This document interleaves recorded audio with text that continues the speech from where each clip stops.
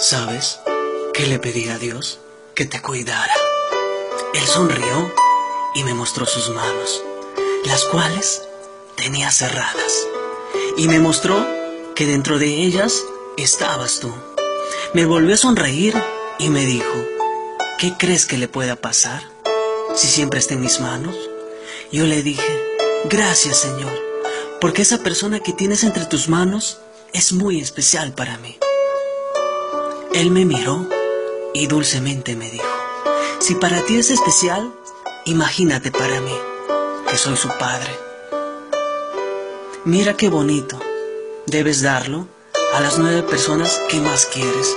Inclúyeme si me quieres, te quiero y siempre voy a quererte, molestarte, ayudarte, cuidarte, sonreírte, escucharte, aconsejarte y sobre todo apoyarte. Dispara esta flechita a las 10 personas que no te arrepientes de haber conocido. Si te devuelven 5, es porque tienes un buen corazón.